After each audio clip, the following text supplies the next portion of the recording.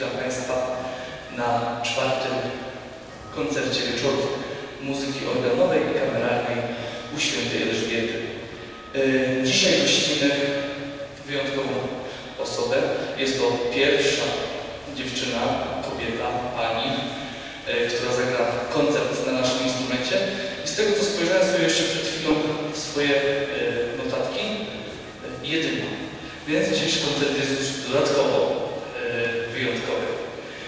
Chciałem przywitać panią Ewelinę Bachur. Przywitajmy ją wspólnie brawami.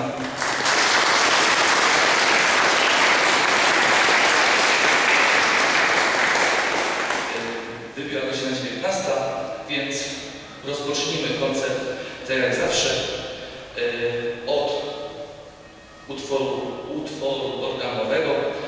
Będzie to utwór Jana Sebastiana Bacha, Preludium i Fuga Amor, dzieło 548. Zapraszam do wysłuchania, a potem kilka słów o naszej wykonawczyni.